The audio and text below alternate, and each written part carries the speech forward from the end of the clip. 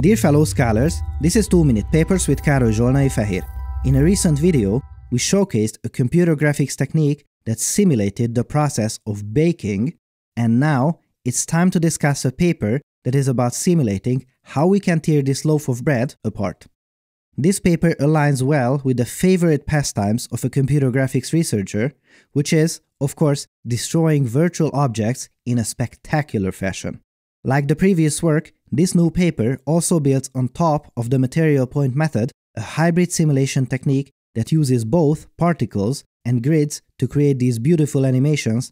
However, it traditionally does not support simulating cracking and tearing phenomena. Now, have a look at this new work and marvel at how beautifully this phenomenon is simulated here. With this, we can smash Oreos, candy crabs, pumpkins, and much, much more. This jelly fracture scene is my absolute favorite. Now, when an artist works with these simulations, the issue of artistic control often comes up. After all, this method is meant to compute these phenomena by simulating physics, and we can't just instruct physics to be more beautiful.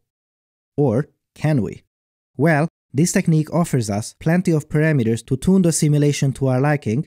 Two that we'll note today are the alpha, which means the hardening, and beta is the cohesion parameter. So, what does that mean exactly?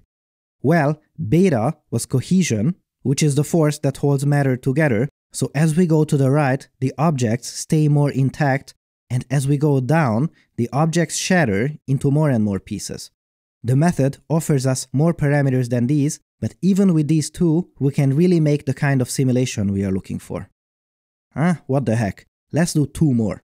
We can even control the way the cracks form with the MC parameter, which is the speed of crack propagation, and G is the energy release, which, as we look to the right, increases the object's resistance to damage. So, how long does this take? Well, the technique takes its sweet time. The execution timings range from 17 seconds to about 10 minutes per frame. This is one of those methods that does something that wasn't possible before, and it is about doing things correctly. And after a paper appears on something that makes the impossible possible, follow up research works get published later that further refine and optimize it. So, as we say, two more papers down the line, and this will run much faster. Now, a word about the first author of the paper, Joshua Wolper. Strictly speaking, it is his third paper, but only the second within computer graphics, and my goodness, did he come back with guns blazing. This paper was accepted to the SIGGRAPH conference, which is one of the biggest honors a computer graphics researcher can get, perhaps equivalent to the Olympic gold medal for an athlete. It definitely is worthy of a gold medal. Make sure to have a look at the paper in the video description, it is an absolutely beautifully crafted piece of work. Congratulations, Joshua! This episode has been supported by Lambda. If you're a researcher or a startup looking for cheap GPU compute to run these algorithms, check out Lambda GPU Cloud. I've talked about Lambda's GPU workstations in other videos, and I'm happy to tell you that they are offering GPU cloud services as well. The Lambda GPU Cloud can train ImageNet to 93% accuracy for less than $19. Lambda's web-based IDE lets you easily access your instance right in your browser.